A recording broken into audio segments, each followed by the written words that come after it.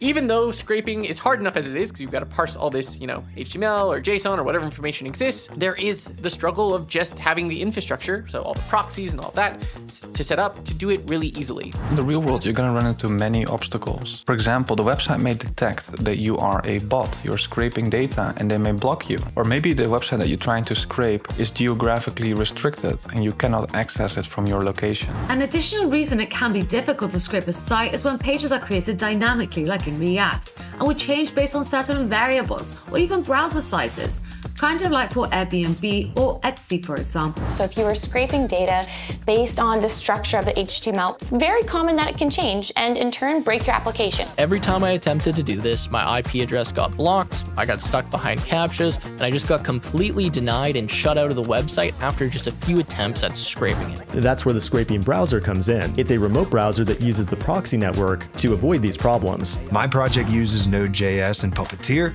but you can also use Python and Playwright. The overall idea is that it's just a super easy way to collect whatever data you need because the website thinks that the scraping browser is a real user. It outsmarts any bot detection software out there by utilizing AI to automatically learn to adapt and bypass these systems.